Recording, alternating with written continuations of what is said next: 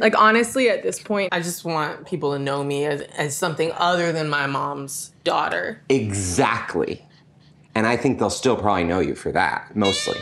Olivia Love is the director of my dreams. She's who I want to work with, and she's doing this incredible new project about a lesbian biker gang, and I have to be in it. I really think I would be right for that movie she's making.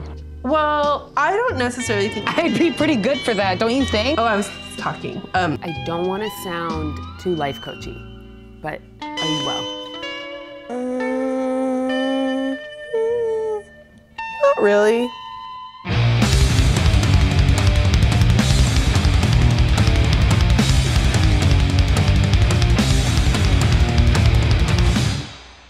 I'm gonna baby bird you, okay? You just you just lay back. You just let me do the work, okay? That's a good baby bird. That's a good baby birdie.